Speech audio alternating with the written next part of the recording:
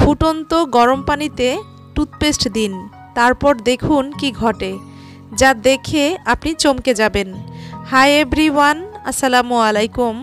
Welcome back to my channel আপনারা সবাই কেমন আছেন? আশা করি আপনারা সবাই ভালো আছেন। আবারও চলে এসেছি আপনাদের মাঝে খুবই গুরুত্বপূর্ণ একটি ভিডিও নিয়ে। আমার আজকের ভিডিওর থামনেল এবং টাইটেল দেখে আপনারা নিশ্চয়ই এতক্ষণে বুঝে গিয়েছেন আজ আমি আপনাদের সাথে কি ভিডিও নিয়ে হাজির হয়েছি। আমার আজকের এই ভিডিওটি আমার বাকি সকল ভিডিওর মতোই খুবই গুরুত্বপূর্ণ, তাই সম্পূর্ণ ভিডিওটি দেখার অনুরোধ রইল।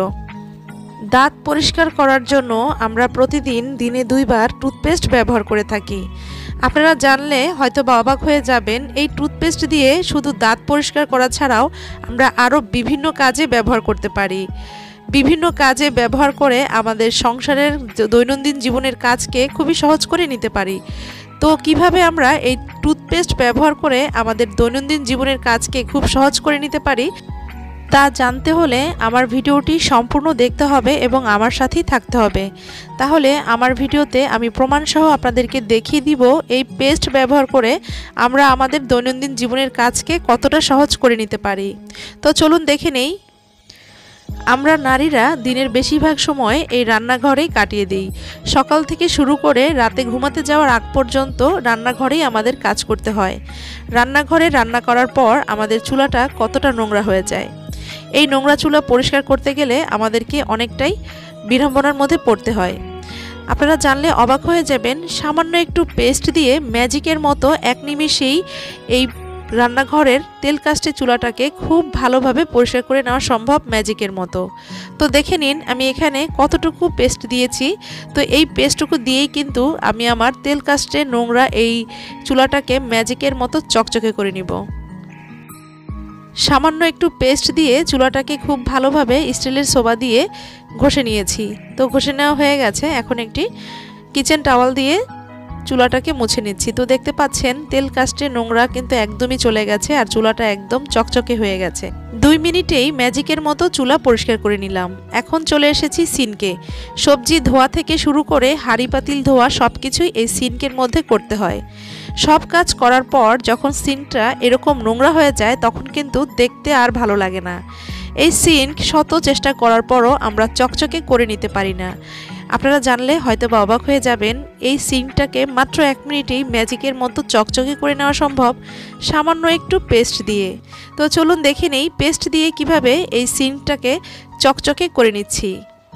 তো এখানে আমি সামান্য একটু পেস্ট দিয়ে দিব। তো আপনাদেরকে বলে দিচ্ছি, আপনারা চাইলে এখানে যে কোনো ধরনের পেস্ট ব্যবহার করতে পারেন। আমি এখানে কোলগেটের সাদা পেস্ট ব্যবহার করেছি, আপনারা আপনাদের বাসার ব্যবহৃত যে কোনো ধরনের সাদা পেস্ট নিয়ে নেবেন। সাদা পেস্ট দিয়ে সব কিছু একদম চকচকে ঝকঝকে করে নেওয়া সম্ভব। তো এই যে দেখতে পাচ্ছেন, এখানে আমি একটি স্কাভার নিয়েছি। স্কাভার দিয়ে আর পেস্ট দিয়ে আমি সিনটাকে ঘষে নিচ্ছি। তো দেখতে পাবেন, এক মিনিটেই কিন্তু সিঙ্কটা একদম ম্যাজিকের মতো চকচকে হয়ে যাবে। পেস্ট দিয়ে সিঙ্ক পরিষ্কার করার পর যতটা চকচকে হবে, আপনি অন্য যা কিছু দিয়েই করেন না কেন, পেস্টের মতো এতটা চকচকে কিন্তু হবে না। এখন প্রশ্ন হচ্ছে, পেস্ট দিয়ে যদি আমরা প্রতিদিন পরিষ্কার করি, তাহলে তো আমাদের বেশি খরচ হবে। আমি বলব, প্রতিদিন পেস্ট দিয়ে পরিষ্কার করার কোনো প্রয়োজন নেই। আপনারা সপ্তাহে একদিন অথবা পনেরো দিনে একদিন পেস্ট দিয়ে আপনাদের কিচেনের সিঙ্ক এবং চুলা পরিষ্কার করে নিন, তাহলে দেখবেন সবসময় আপনাদের সিঙ্ক এবং চুলাটা চকচক করছে। তো আমি খুব ভালোভাবে পেস্ট দিয়ে সিঙ্কটাকে ঘষে নিয়েছি। এই পর্যায়ে আমি পানি দিয়ে খুব ভালোভাবে পরিষ্কার করে ধুয়ে নিব, এরপর কিচেন টাওয়াল দিয়ে সিনটাকে মুছে নিব। কিচেন টাওয়াল দিয়ে সিন মুছে নিয়েছি, দেখতে পাচ্ছেন কতটা চকচক করছে। আশা করি আপনারা নিজেরাই দেখে বুঝতে পারছেন। তো এভাবে সামান্য একটু পেস্ট দিয়ে আপনারা আপনাদের সিঙ্ক পরিষ্কার করে নিতে পারেন। তো এখন আমি আপনাদেরকে দেখাচ্ছি রান্নাঘরের সুইচ বোর্ড। রান্নাঘরের চুলা এবং সিঙ্কের মতো রান্নাঘরের সুইচ বোর্ডটাও কিন্তু নোংরা, তেল চিটচিটে হয়ে যায়। তো এভাবে একটু পেস্ট দিয়েই আপনারা আপনাদের রান্নাঘরের সুইচ বোর্ডটাকে পরিষ্কার করে নিতে পারেন। তো এখানে আমি সামান্য একটু পেস্ট নিয়েছি, আরেকটা স্ক্রাবারের সাহায্যে। পেস্ট দিয়ে সুইচ বোর্ডটাকে ঘষে নিচ্ছি। তো এই কাজটি করার সময় অবশ্যই পায়ে স্যান্ডেল পরে নেবেন। আমি কিন্তু পায়ে স্যান্ডেল পরে নিয়েছি। তো এভাবে করে আপনারা শুধু রান্নাঘরের সুইচ বোর্ড না, আপনাদের ঘরের সবগুলো সুইচ বোর্ডই খুব সহজেই পরিষ্কার করে নিতে পারেন। তো দেখতে পাচ্ছেন কতটা নোংরা ছিল এই সুইচ বোর্ডটা। পেস্ট দিয়ে কিন্তু এক নিমিষেই বোর্ডটাকে পরিষ্কার করে নিলাম। আশা করি আপনাদের কাছে এই টিপসটিও ভালো লেগেছে। আমরা নারীরা যেহেতু কিচেনে বেশি সময় পার করি, রান্না করার সময় আমাদের হাত কম বেশি সবারই পুড়ে যায়।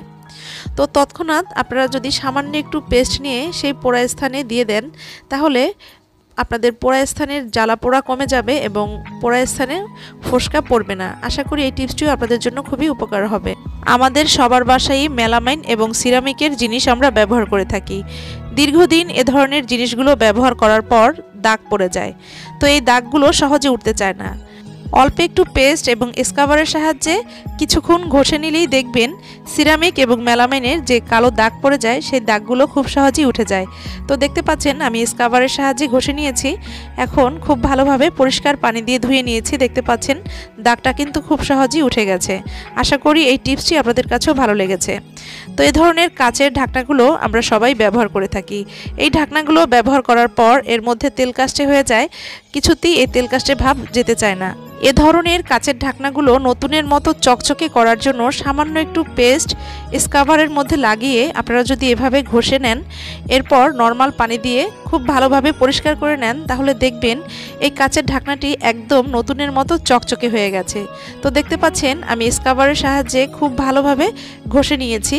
এখন আমি পরিষ্কার পানি দিয়ে খুব ভালোভাবে ধুয়ে নিব।